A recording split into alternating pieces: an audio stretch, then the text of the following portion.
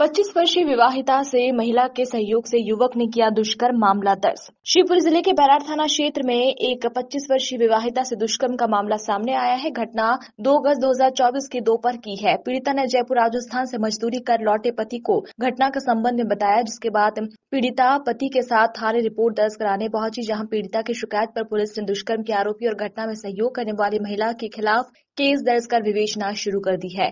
जानकारी के अनुसार भैरदा थाना बैराड़ की रहने वाली एक 25 वर्षीय विवाहिता ने पुलिस को बताया कि उसके पति जयपुर में मजदूरी करने गया हुआ था। मैं अपने एक साल के बच्चे के साथ घर पर अकेली थी, तभी 2 अगस्त 2024 की दोपहर उसकी पड़ोसन सिया मेरे पास आई और बोली, तूने सब्ज़ी बनाई है क्या? तो मैंने बोला, नहीं बनाई। तो चल, मैं तुझे सब्ज़ी दिलाती हूँ। मैंने मना किया, फिर सिया मुझे ज़बरदस्ती राम स्वरूप के घर ले गई, जहाँ सिया ने मेरा लड़का मुझसे ले लिया और मुझे राम स्वरूप के पाटोर में बंद कर दिया, जहाँ पर राम स्वरूप पहले से ही बैठा हुआ था तो राम स्वरूप ने मेरे साथ ज़बरदस्ती गलत काम किया और मुझे धमकी दी कि तूने किसी को बात बताई तो तुझे जान से खत्म कर दूँगा और मुझे पाटोर के बाहर निकाल दिया। फिर बाहर आने पर सिया ने भी मुझे धमकी दी कि अगर तूने किसी को ये बात बताई तो तुझे हम दोनों जान से खत्म कर देंगे। आज दिनांक तक मैं अकेली होने और उसकी धमकी के डर की वजह से रिपोर्ट को दर्ज नहीं करवाने आई हूँ। पुलिस ने राम स्वरूप और सिया के खिलाफ केस दर्ज कर विवेचना अब शुरू कर दी है। बैरार से धर्मेंद्र शर्मा की